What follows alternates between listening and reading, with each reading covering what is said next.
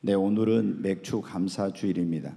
이 맥주 감사절의 유래는 하나님의 이 선택받은 백성인 이스라엘 백성들이 애굽에서 430년 동안 살고 있다가 나중에 이제 한 400여 년 동안 종살이를 하게 됩니다. 하나님께 그들이 부르짖으니까 하나님이 모세를 보내서 그들을 거기에서 구원해 주셨어요. 아, 이제 하나님이 그 백성을 구원하시고 그들에게 적과 꿀이는 가나안 땅으로 어, 이제 그들을 인도해 주십니다. 그런데 하나님께서 그 백성들에게 이 약속의 땅에 들어가거든 세 번의 절기를 매년 지키라고 말씀을 하셨어요. 유월절 그리고 맥주절 또 오늘 이제 여기 나온 수장절이라고도 하고 초막절이라고도 하는 그 절기를 지키라고 이제 말씀을 하셨습니다. 그래서 1년에 세 번씩 이스라엘의 그 모든 사람들은 남자들은 20세 이상은 반드시 의무적으로 그리고 여성이나 어린아이나 이런 사람들은 자원에서 이제 누구든지 그 하나님의 이름을 두신 곳으로 가서 이제 어, 예배를 드리는 것입니다.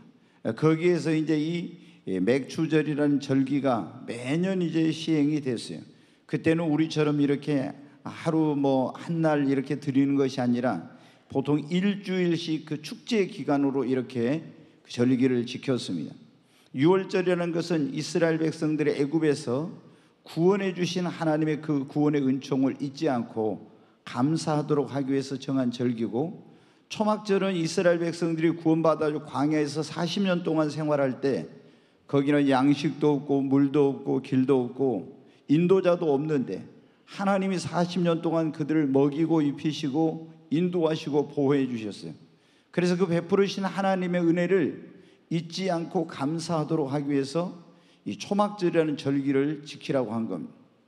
그리고 오늘 우리가 이 이제 지키고 있는 이 맥주 감사주일은 하나님께서 이스라엘 백성들에게 가나안 땅에 이제 들어가서 농사를 지어가지고 그때는 농경사회니까 첫 열매를 그 소산물의 첫 열매를 거두면 그것을 하나님의 이름이 있는 곳 나중에 이제 그곳이 에루살렘에 하나님의 성전이 세워졌어요. 그곳으로 가지고 가서 그 곡식 첫 단을 가져와서 하나님께 그걸 제사장에 드리고 흔들어서 예배를 드리라고 한 데서 어, 비롯되게 된 것입니다. 여러분 하나님께서 이 맥주 감사절을 지키라고 하신 이유 그 목적이 뭐냐? 그러면 만물의 창조자이시며 주인이신 하나님께 아무리 바쁜 일이 있어도 반드시 성전에 내가 다른 할 일이 있어도 그때는 반드시 가야 되는 거야. 안 가면은 하나님으로부터 끊어지게 되는 거야. 그래서 어떤 급하고 중요한 일이 있어도 하나님께 예배를 드리는 이 절기를 지키는 것보다 더 중요한 일은 없었어요. 그래서 하나님의 택한 백성은 남자는 20세 이상은 무조건 다 의무적으로 올라가는 거예요. 첫 열매를 가져가서 하나님 앞에 이제 이 보통 그때 우리는 지금 이제 농경 사회가 아니고 산업 사회잖아요. 근데 농사를 지을 때는 5월에서 6월 정도에 이제 밀이나 보리를 첫 수확을 하는데 그 첫 수확의 곡식단을 가지고 에루살렘으로 가서 하나님의 성전 앞에서 예배를 드리도록 한 것입니다. 이것은 하나님께서 왜 이런 일을 하라고 그 하나님의 백성에게 했으면 그것은 하나님을 경외하며 살도록 하기 위한 거예요. 여러분 성경에 보면 여호와를 경외하라 하나님을 경외하라 이런 말씀이 많이 나오죠. 좀 어려운 말인데 이 하나님을 경외한다는 것은 하나님에 대한 외경심 아, 그 만군의 하나님 천지 만물의 창조자이신 그 만왕의 왕이시며 만주의 주 되신 그 하나님에 대한 거룩한 두려움, 외경심을 가지고 그 하나님을 우러러 존중 여기며 그 하나님을 예배하고 섬기는 것을 이거를 하나님을 경외한다고 하는 것입니다.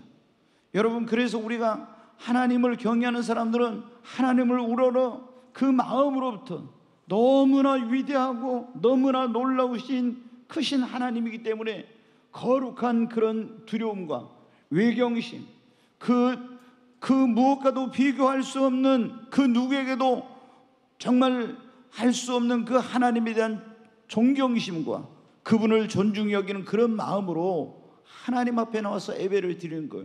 그래서 하나님께서 하나님의 택한 백성들에게 이 맥주절이라는 절기를 정하고 반드시 하나님 앞에 가서 이 곡식단을 가지고 예배를 드리는 것은 자신들의 구원자이시며 창조자이시며 만물의 주인 대신 하나님을 경외하고 살라는 것입니다. 네, 두 번째로 하나님께서 이 맥주제를 정하신 것은 뭐냐면 하나님을 믿는 사람들이 우리 인생의 첫 번째 자리에 하나님을 모시고 하나님 제일주의로 살라는 겁니다. 여러분, 첫 열매는 가장 귀한 것이면서 가장 좋은 것입니다. 그래서 거기 19절을 한번 보겠습니다. 다시 한번 같이 읽습니다. 내 토지에서 처음 거둔 열매 가장 좋은 것을 가져다가 너희 하나님 여호와의 전에 드릴지니라 그랬죠. 여기 보면 너의 토지에서 처음 거둔 것, 그 처음 거둔 것도 굉장히 귀한 거죠. 근데 가장 좋은 것 그 가운데서도 그것을 가져다가 너의 하나님 여호와의 전에 드릴지니라. 이것은 하나님을 내 인생의 첫 번째 자리에 모시지 않으면요. 첫 것을 드릴 수가 없는 거예요. 여러분 그렇지 않습니까? 그게 얼마나 소중한 것인데 그 첫 번째 것은 내가 가장 소중하게 여기는 사람, 가장 귀하게 여기는 사람, 이런 어떤 것에다가 줄 수 있는 거예요. 그런데 하나님께서 우리가 소산물의 첫 열매를 가장 좋은 것을 하나님께 드리라는 것은 하나님을 네 인생의 첫 번째 자리에 모시라. 그리고 하나님을 제일로 제 하나님 제일주의로 살라는 그런 것입니다. 여러분 성경에 보면은 하나님은 첫 것은 다 하나님의 것이라고 그렇게 말씀하셨어요. 이 소산물의 첫 열매도 하나님의 것이요. 자식이 태어나면 첫 번째 태어난 자식은 성경에 보면 하나님의 것이라고 있어요. 그 다음에 동물이 이런 새끼를 낳아도 소나 양이나 이런 새끼를 낳아도 첫 것은 하나님 거. 그 다음에 날도 있죠. 매년 새 첫날은 하나님의 날이요. 그 다음에 매달 첫날은 월삭이라고 또 하나님의 날이요. 매 주일의 첫날인 한 주간의 첫날인 주일은 또 이것은 여호와의 성일이라 했죠. 주님의 날이에요. 그 다음에 하루의 첫 시간도 하나님의 것이며 소득의 첫 것도 하나님의 것이며 전쟁에서 심지어 노획물을 거두었을 때 첫 번째 것도 하나님의 것이다 이렇게 말씀을 하셨어요. 여러분 이렇게 첫 것은 다 하나님의 것이니 하나님께 바치라 이것은 그것은 우리에게 하나님을 우리 인생의 첫 번째 자리에 모시고 하나님 제일주로 살라는 거. 이거를 이제 우리에게 가르치려고. 너희는 먼저 그의 나라와 그의 의를 구하는 삶을 살아라. 가장 소중한 것, 가장 첫 번째 것을 하나님께 드린다는 것은 하나님 제일주로 살라는 것을 하나님이 하나님의 백성이 가르치려고 그렇게 한 거예요. 그리고 모든 것이 하나님의 은혜임을 알고 그 은혜를 잊지 말고 항상 하나님께 감사하며 살도록 이 절기를 정하신 것입니다. 조금 전에 여러분 말씀드렸죠. 이스라엘 백성들이 애굽에서 종살이 하고 있을 때 하나님 모세를 보내서 애굽에 열 가지 재앙을 내려가지고 그 이스라엘 백성들을 구원해 주셨어요. 근데 열 번째 재앙은 뭐냐? 유대인이라고 면제된 것이 아니에요. 흠없는 점없고 흠없는 어린 양을 1년 된 어린 양을 잡아 가지고 그 양의 피를 받아서 문 좌우설좌 인방에 발라놓고 그 방 안에 들어가 있어야 돼요. 그러면 하나님의 심판의 천사가 칼을 가지고 애굽 땅에 내려와서 이 심판을 하는데 양의 피, 흠없고 점없는 어린 양의 피가 발라져 있는 집은 그냥 하나님의 그 심판의 사자가 넘어가는 거예요. 피를 볼 때. 그래서 6월이라는 말이 넘어갔다는 그런 말이에요.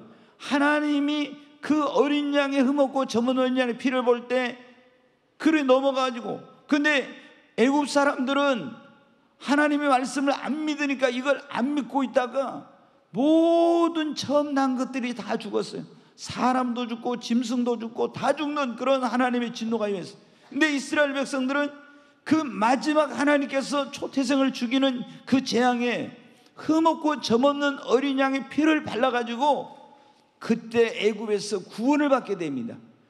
하나님의 전적인 은혜로 구원을 받은 거예요. 그래서 그 구원해 주신 은혜를 잊지 말라고 6월절을 매년 지키라는 거예요.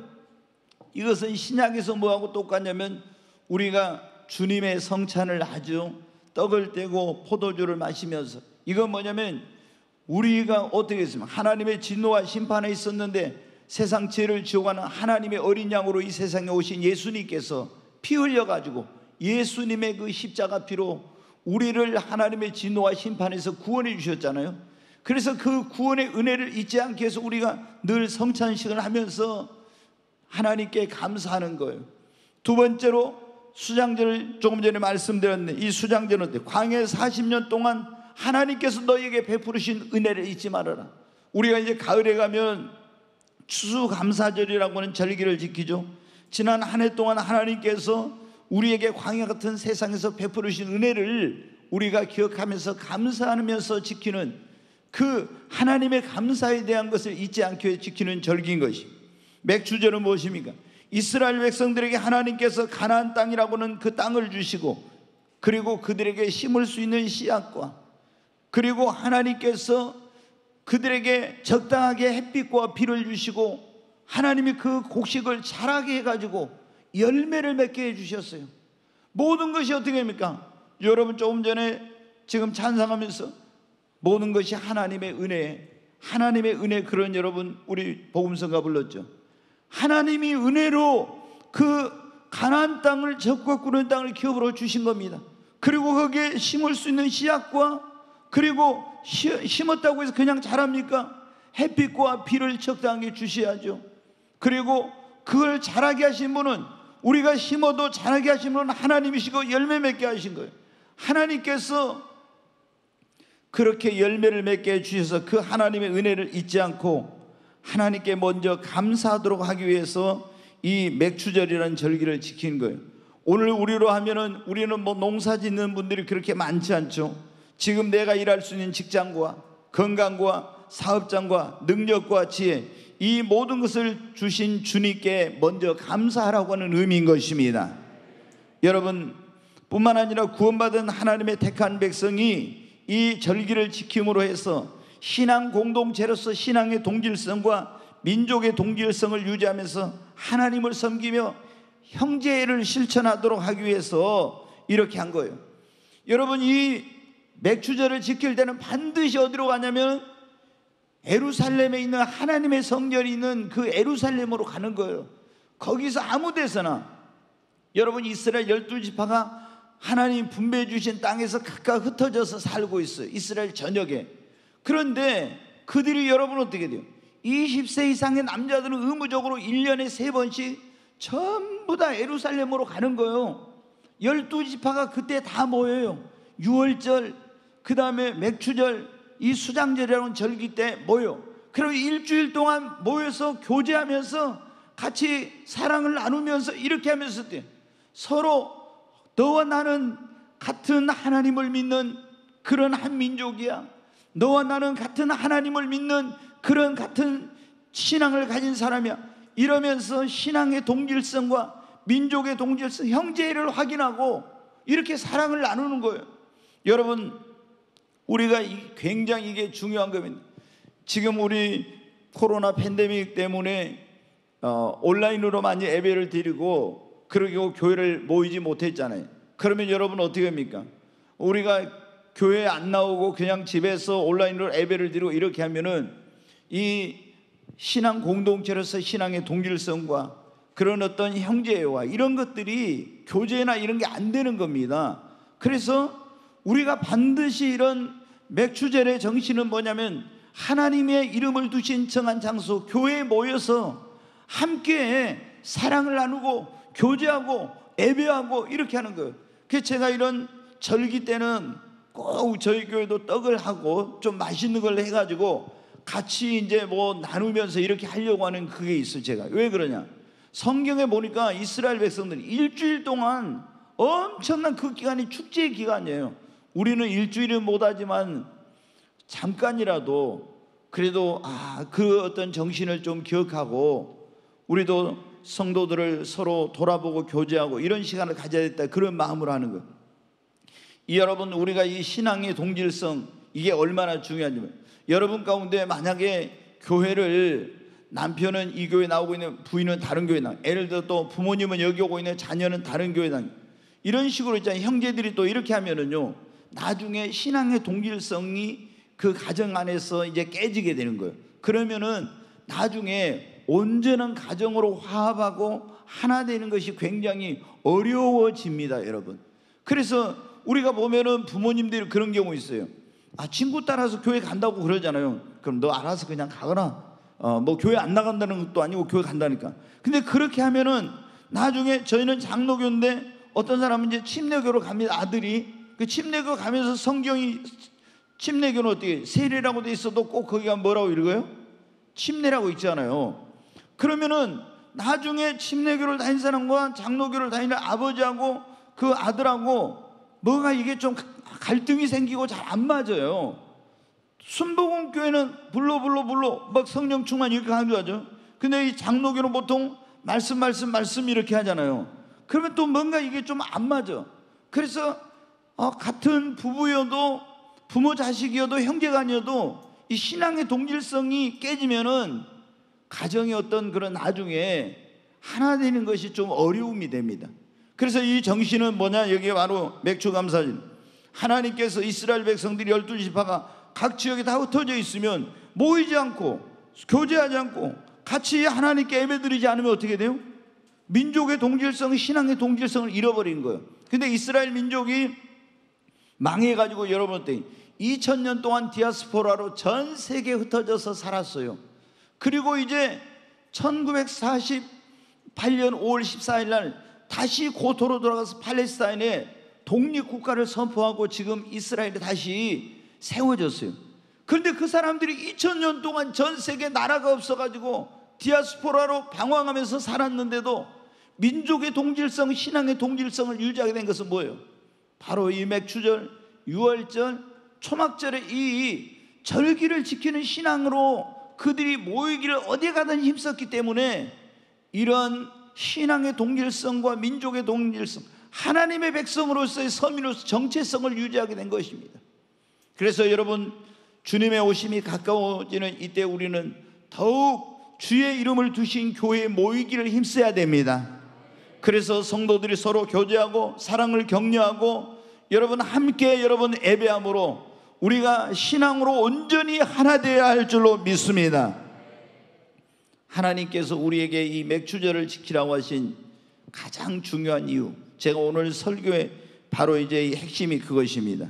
하나님이 첫 열매를 하나님의 이름을 두신 곳에 가서 바치라고 한 것은 하나님 무엇을 부족해서 우리에게 무거운 짐을 지우려고 그렇게 하신 거예요 아니에요.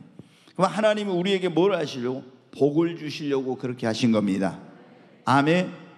네, 하나님께서 첫 열매를 드린 자에게 놀라운 복을 주시는데 오늘 첫 열매로 하나님은 여호와를 공경하는 자에게 임하는 복이라는 제목으로 지금 말씀을 전하려고 하는데 하나님께서 이 첫 열매를 드려서 여호와 하나님을 공경하는 사람에게 어떤 복을 주시는지 예, 이걸 이제 여러분이 보면은 아 정말로 이런 이 하나님을 첫 열매로 첫 열매를 드려한 건 뭐래요? 하나님을 경외하도록 하기 위한 거라고 했잖아요. 하나님 제일주의로 살라고 하나님께서 그렇게 하신 거라고 했잖아요.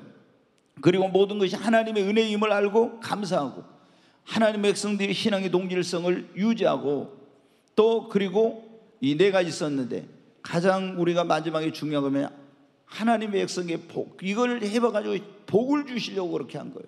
그러면 하나님께서 첫 열매로 여호와를 공경하는 자에게 하나님이 어떤 복을 주시는가? 먼저 잠언 3장 9절로 10절의 말씀을 보겠습니다. 같이 읽겠습니다. 내 재물과 내 소산물의 처음 익은 열매로 여호와를 공경하라. 그리하면 내 창고가 가득히 차고 내 포도즙 틀에 새 포도즙이 넘치리라.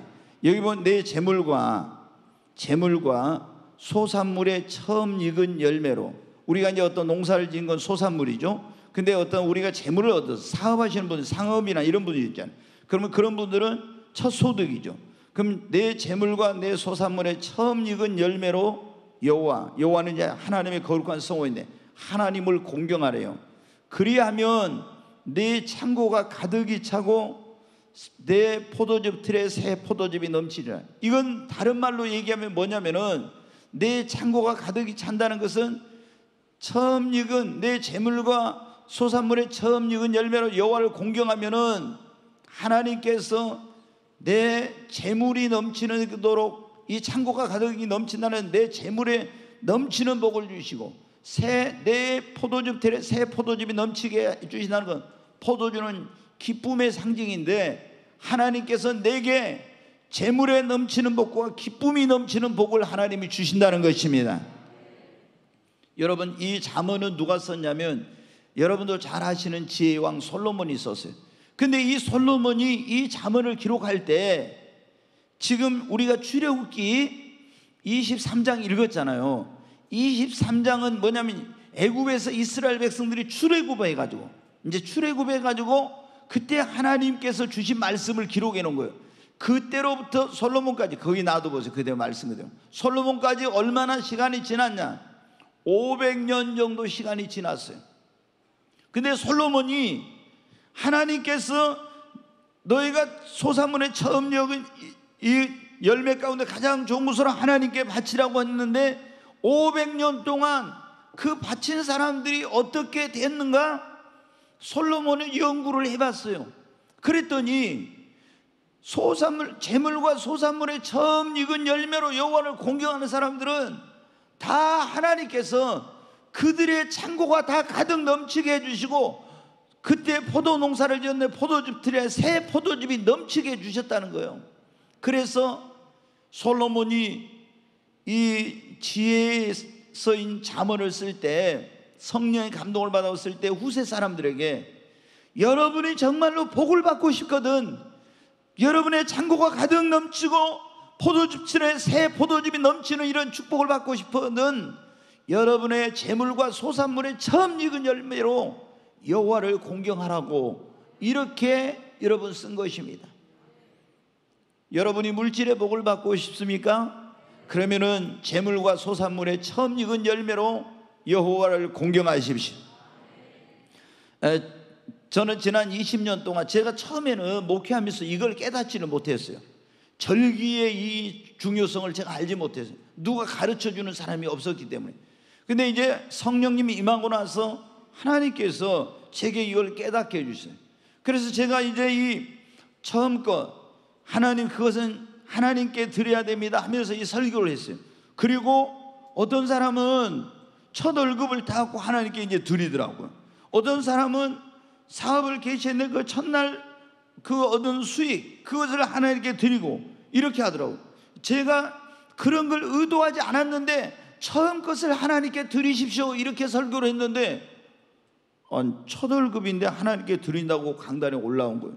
제가 처음에 놀래고 충격을 받았어요. 아니 첫 월급을 타가지고 보통 뭐 부모님 뭐 내이 사드리고 뭐 어쩌고 막 이런 거 하잖아요. 그런데 아니 첫 월급을 타가지고 청년들이 하나님께 그 첫 달 월급을 드린다고 한 거.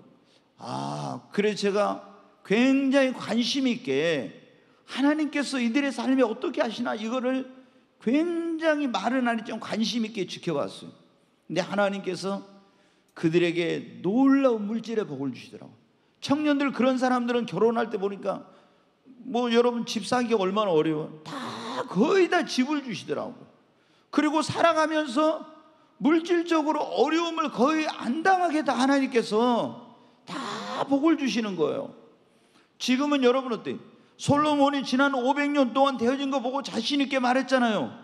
내 재물과 소산물의 처음 익은 열매로 여호와를 공경하라고 그러면 창고가 가득이 넘치고 포도즙 틀에 새 포도즙 넘친다고 여러분도 저도 여러분에게 자신 있게 말할 수 있어요. 제가 왜 여러분에게 막 11조 여러분 온전히 들으십시오 이런 설교 자신 있게 한지 아십니까? 목사의 사명은 뭡니까? 여러분의 영혼을 구원하고 여러분이 범사가 잘 되고 강건하고 축복된 삶을 사는 거예요.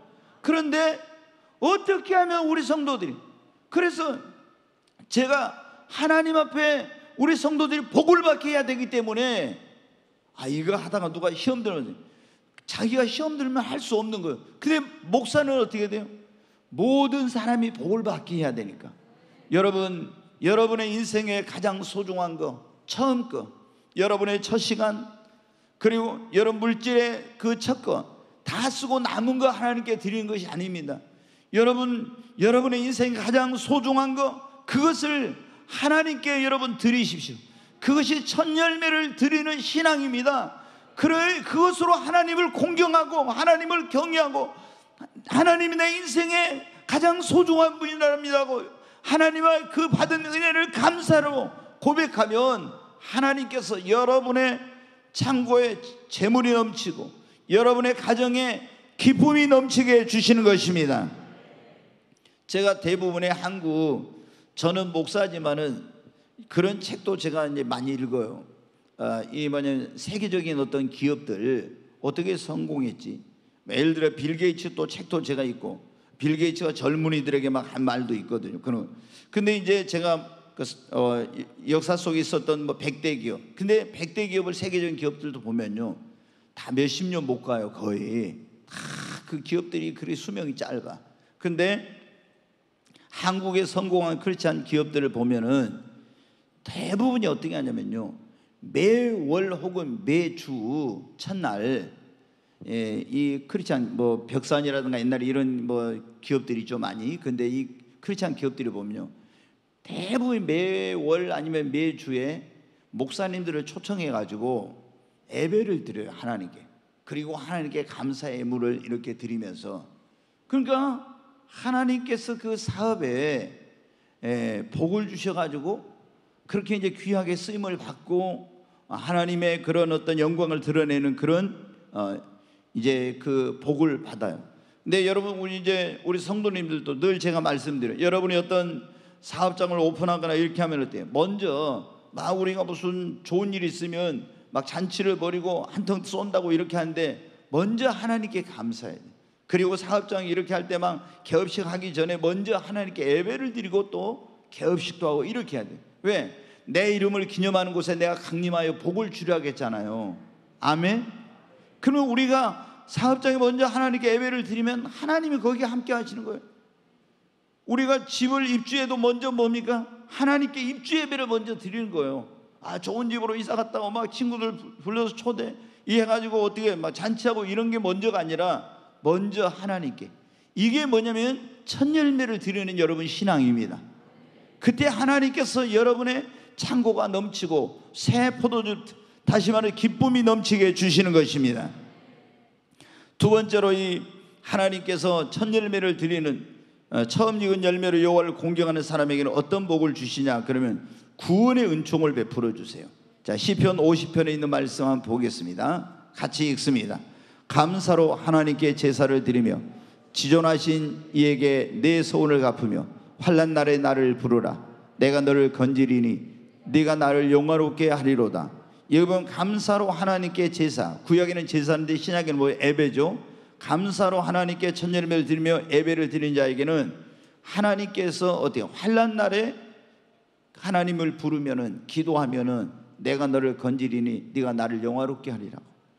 여러분 하나님께 감사할 줄도 모르고 있잖아요. 그런 하나님을 경외하지도 않고 이렇게 살다가 어려운 일 만나니까 그때서 있잖아요. 우리가 지금 사사기 공부하고 있는데 막 그때서 하나님 찾으면서 하나님 도와주시니까 하나님이 나중에 화가 나가지고 뭐라고 했습니까? 너희들 기도 내가 듣지 않을 거야. 이런 식으로 하나님께서 하신 적 있잖아요.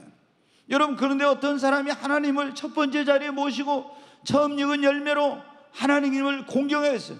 늘 예배를 드리고 이렇게 했어요. 그런데 그 사람이 어떤 어려운 일을 만나서 환란을 만났어.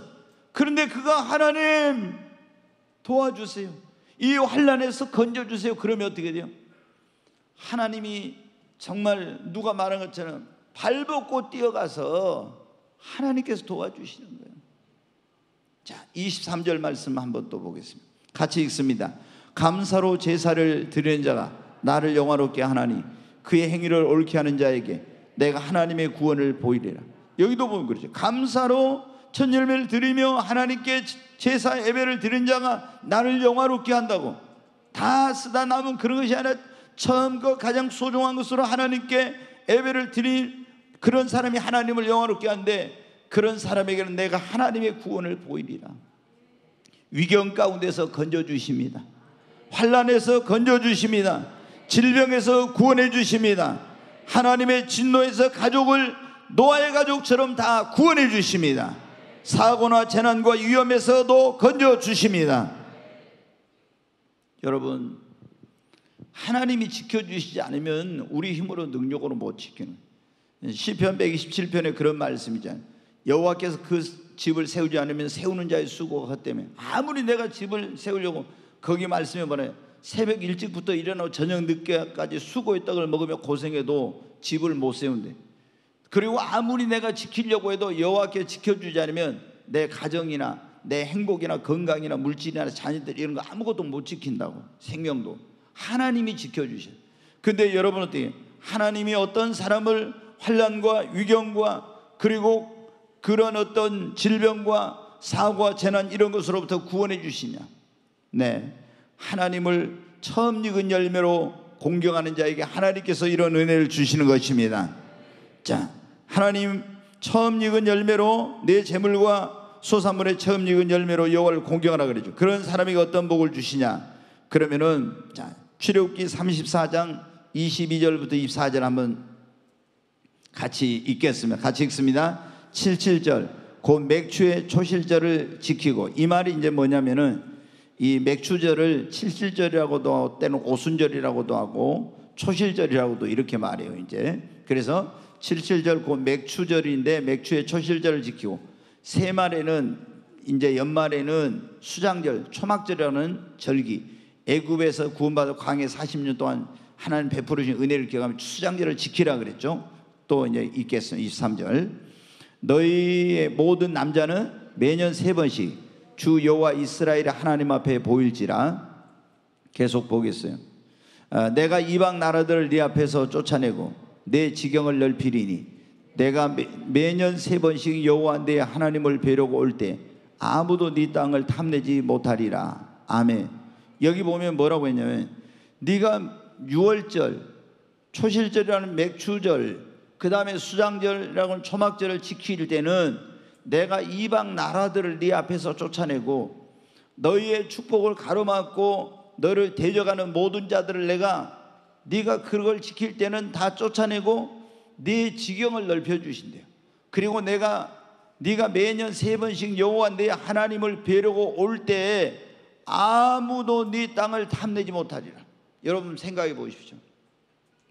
우리가 이제 어, 지금 여기서 뭐 여러분이 사업하는데 여러분의 어떤 사업을 방해하고 여러분의 축복된 삶을 굉장히 어렵게 만드는 그런 사람들 있잖아요. 그런데 여러분이 처음 익은 열매로 여호와를 공경하면 그 사람들을 대적들을 그 고통을 주는 사람들을 하나님께서 여러분 앞에서 다 쫓아낸다는 거예요. 그리고 뭐라고요? 내 지경을 넓히리니. 여러분의 사업의 지경을 넓히고 삶의 지경을 하나님께서 넓혀 주신다고요. 그리고 세 번째로 뭐라요? 네가 매년 세 번씩 여호와 네 하나님을 뵈려고 올 때에 아무도 네 땅을 탐내지 못하리라. 20세 이상의 남자들이요. 다 에루살렘으로 하나님의 성전이 있는 곳에 예배를 들어와. 그러면은 거기에는 변방에는 누가 살고 있어? 다 그 블레셋이나 미디안이나 이런 나라들이 호시탐탐 이스라엘을 노리고 있는데 거기에 노약자들, 여자들, 어린이들밖에 안 남아요. 그러면 여러분 생각해 보십시오. 20세 이상의 남자들이 다 이 절기를 지키러 올라왔을 때 미디안이나 모압이나 암몬이나 블레셋이 군대를 이끌고 쳐들어와서 이 이스라엘 나라를 단숨에 점령해 버리겠죠. 그런데 하나님이 뭐라고요? 네가 매년 세 번씩 여호와 네 하나님을 뵈려고 올 때는 아무도 네 땅을 탐내지 못하리라. 이스라엘 역사 가운데 있잖아요. 이스라엘 역사 4천년 역사 가운데 아브라함 때부터 지금까지 4천년 역사 가운데 이스라엘이 절기를 지키러 올 때는요. 지금까지 한 번도 외세 침략을 받아본 적이 없어요. 하나님께서 아무도 그 땅을 탐내지 못하고 그게 그리고 그때에는 자연 재해라든가 천재지변이라든가 이런 것이 일어나 본 적도 여러분 없어요. 여러분 기억해야 돼요. 우리가 하나님 앞에 나와서 처음 익은 열매로 하나님을 공경하는 사람은 하나님이 그들의 축복을 방해하고 고통을 주는 자들을 다 하나님이 몰아내시고 그리고 하나님께서 그 사람의 삶의 지경을 사업의 지경을 지경을 넓혀 주시고 그리고 모든 것 가정 사업 자녀들 건강 모든 것들을 하나님께서 여러분 그 소유까지도 다 안전하게 지켜 주시는 것입니다. 여러분이 정말 하나님을 처음 익은 열매로 공경하는 그 첫 것을 가지고 하나님을 공경하는 이런 신앙생활을 하시기를 바랍니다. 진짜 저는 보면은 답답해요. 여러분이 하나님이라고 해도 그러지 않겠어요? 아니 하나님을 하나님이 예수 그리스도를 보내 가지고 죄인된 나를 구원해 주시고 하나님을 우리가 만복의 근원이 그분 앞에 모든 게 다 있잖아요. 부와 귀와 존귀와 영광과 생사화복 흥망성쇠 빈부 귀천 이 모든 것이 다 하나님의 손에 달려 있어요.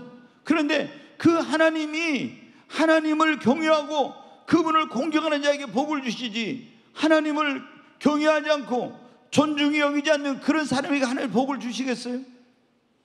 여러분 아무리 인간이 쓰고 노력해도 안 됩니다. 그러나 하나님이 되게 하시면 되는 거예요.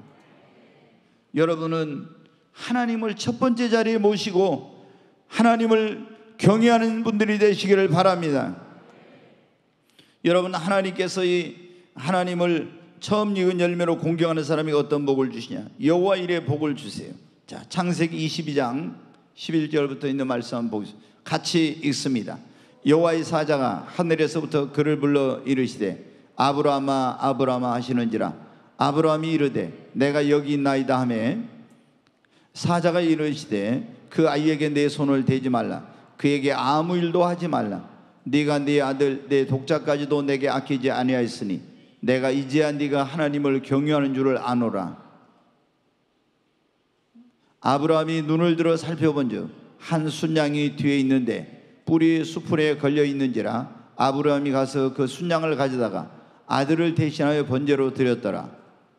아브라함이 그 땅 이름을 여호와 이레라 하였으므로 오늘날까지 사람들이 이르기를 여호와의 산에서 준비되리라 하더라. 일단 여기까지 보겠어요. 아니, 거기까지 14절 놔둬요.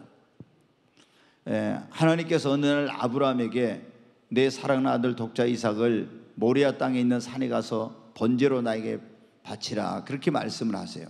번제라는 제사는 뭐냐면은 보통 양이나 예, 이제 소 같은 이런 걸 제물로 드리는데 그 제물을 각을 떠요. 그래가지고 어, 껍질을 벗기고 나무 위에다 불을 태워 가지고 그 향기를 하나님 앞에 올려드리는 그런 이제 제사 예배예요. 그런데 하나님께서 백세 얻은 어, 그 아이를 낳을 수 없었는데 하나님께서 아이를 주셔가지고 백세 이제 얻은 아들 이삭을 어느 날 모리아 땅에 있는 산에 가서 번제로 하나님께 그래 죽여서 이거 제사로 하나님께 바치라는 거예요. 여러분 하나님께서 근데 뭘 하려고 했냐? 그러면 창세기 22장에 보면은 아브라함을 시험하시려고 그랬대요. 너무나 백세 얻은 아들이니까 귀한 아들 아닙니까? 이 첫 번째 가장 소중한 아들. 그 아들을 어, 정말 눈에 넣어도 아프지 않는 그런 자기 생명보다도 소중한 아들이죠. 근데 그 아들을 바치라고 한 것은 정말 아브라함이 하나님을 사랑하는지 그리고 하나님이 그 인생의 첫 번째인지 이걸 한번 이제 시험해 보시려고 한 거예요. 근데 아브라함은 어떻게 돼? 하나님 말씀에 순종하여 자기 아내하고도 의논하지 않고 새벽 일찍 일어나 가지고 아, 나귀 안정을 지고 그 아들을 데리고 종들과 함께 불과 이제 이 나무를 가지고 그 모리아 땅으로 3일 길을 갔습니다. 보통 우리가 아, 작심 3일이라고 사흘이면 마음 변할 수도 있는데 사흘 길을 갔어요. 그리고 거기가 재단을 쌓고 나무를 올려놓고 아들을 결박해 가지고 칼을 가지고 아들을 찌르려고 하는 거예요. 근데 그때 하나님의 사자 천사가 나타나서 다급한 소리로 아브라함아 아브라함아 부르시는 겁니다. 그러면서 내 손을 아들에게 대지 말아라. 네가 이제야 진정으로 네가 내 하나님 여호와를 경외하는 줄 알았노라. 자기 인생의 가장 소중한 것 첫 번째 그 귀한 아들을 하나님 말씀에 순종하여 바치려는 걸 보고 하나님 네가 진짜 나를 경외하고 나를 사랑하는 줄 알았다고. 그러면서 하나님께서 거기서 여호와 이래 예, 수풀에 순양이 걸려 있는 그걸 갖다 이제 드리고 여호와 이래 여호와의 산에서 준비되더라. 하나님이 준비해 놓은 그 복을 받아요. 여러분 하나님은 어떤 사람에게 고린도전서 2장 9절로 10절에 보면 그런 말씀이 있어요. 하나님이 자기를 사랑한 자들을 위하여 예비해 놓으신 것은 우리가 눈으로 보지 못하고 귀로 듣지 못하고 마음으로 생각하지도 못한 놀라운 것을 다 예비해 놓으셨다고. 여러분, 우리가 자녀가 태어나면 부모가 자식을 위해 모든 걸 준비하듯이 우리가 예수를 믿으며 영접하는 자, 곧 그 이름을 믿는 자들은 하나님의 자녀가 되는 것입니다. 하나님의 자녀가 되면 하나님께서 그의 미래와 인생을 위해 모든 것을 다 준비해 놓으세요. 그런데 어떤 사람들이 이 여호와 일에 하나님께서 예비해 놓은 이 놀라운 축복을 받게 되냐? 하나님을 첫 번째 자리에 모신 자가. 아멘. 여러분 정말 하나님을 여러분이 인생의 첫 번째 자리에 모십시오. 그러면 내가 하나님을 인생의 내 인생의 첫 번째 자리에 모셨다는 걸 뭐로 증명할 수 있어요? 내게 내 재물과 소산물의 처음 익은 내 인생의 첫 번째 것, 첫 시간, 첫 것, 그 귀한 것을 하나님 앞에 드리고 하나님 제일주의로 살 때 하나님을 우리가 최고로 사랑한다는 걸 알 수 있죠. 그러면 하나님께서 어떻게 여러분에게 여호와 일의 복을 주십니다. 계속 15절부터 한번 보겠습니다. 같이 읽습니다. 여호와의 사자가 하늘에서부터 두 번째 아브라함을 불러 이르시되 여호와께서 이르시기를 내가 나를 가리켜 맹세하노니 네가 이같이 행하여 네 아들 네 독자도 아끼지 아니하였은즉 내가 네게 큰 복을 주고 네 씨가 크게 번성하여 하늘의 별과 같고 바닷가의 모래와 같게 하리니 네 씨가 그 대적의 성문을 차지하리라 계속 보겠습니다 18절 또내 씨로 말미암아 천하 만민의 복을 받으리니 이는 네가 나의 말을 준행하였음이라 하셨다 하니라 아멘. 하나님께서 여호와 일에 복을 주신 것뿐만 아니라 구하지 않는 복까지도 주셨습니다. 아멘. 하나님이 처음 익은 열매로 여호와를 공경하는 사람에게는 마지막으로 이제 말씀 은혜 위에 은혜를 주시고 구하지 않는 것까지 더해 주십니다. 마태복음 6장 33절 우리가 잘 아는 말씀인데 한번 보겠습니다. 같이 읽습니다. 그런즉 너희는 먼저 그의 나라와 그의 의를 구하라. 그리하면 이 모든 것을 너희에게 더하시려. 여기 보면 먼저 너희는 그의 나라와 그의 의를 구하라. 하나님을 첫 번째 자리에 모시고 그의 나라와 그의 의를 구하면은 그리하면 하나님께서 이 모든 것 너희가 구하지 않는 이 모든 것을 너희에게 더하여 주시리라. 여러분 오늘 첫 열매를 드리는 맥주 감사 주일입니다. 우리가 첫 수와 첫 소득, 첫 월급, 첫날, 첫 시간 그리고 우리 인생의 가장 귀한 것을 드려 하나님을 공경해야 합니다. 그분께 감사와 영광을 돌려보십시오. 그러면 하나님께서 우리에게 약속하셨습니다. 창고가 가득히 차고 내 창고가 가득히 차고 내 포도주 틀에 새 포도즙이 넘치리라고. 아멘. 그리고 분명히 우리를 위경 가운데서 환란 가운데서 질병 가운데서 사고나 위험이나 재난 가운데서 우리를 구원해 주십니다. 그리고 여러분 앞에 축복을 가로막는 대적들과 장애물들을 하나님이 제거해 주십니다. 여러분의 지경을 넓혀 주시고 그리고 여러분의 모든 것을 완전하게 하나님께서 보호해 주실 것입니다. 뿐만 아니라 여호와 일에 하나님 모든 것을 예비해 놓으신 그 하나님께서 예비해 놓으신 여호와 일의 복을 여러분에게 주시고 은혜 위에 은혜를 그리고 구하지 않는 것까지 더해 주시는 그런 복을 주실 것입니다. 사랑하는 여러분, 오늘날 얼마나 우리 신앙이 변질됐는지 모릅니다. 우리 선조들은 그렇게 하지 않은 지금 우리는 너무나 신앙이 변질됐어요. 그래가지고 하나님이 우리 인생의 첫 번째 자리에 계신 것이 아닙니다. 우리는 다시 신앙을 회복해야 됩니다. 우리가 하나님을 내 인생의 첫 번째 자리에 모시고 하나님을 경외하고 하나님 제일주로 살며 하나님의 은혜를 알고 감사하며 정말 하나님을 섬기면 하나님께서 분명히 처음 익은 열매로 여호와를 공경하는 자에게 약속하신 이 복을 여러분에게도 주실 줄로 믿습니다.